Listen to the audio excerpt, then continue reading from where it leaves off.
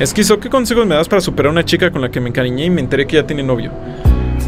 Deja que pase el tiempo, habla con tus amigos y ya, eso es todo. Simplemente piensa, no, pues esta persona no es de mi propiedad, no me debe nada, porque pues obviamente no somos nada, probablemente amigos, pero de ahí en más, a la madre. No manches, esquizo. ¿Me puedes regalar una suscripción a mí misma? Eh, sí, María García, adelante.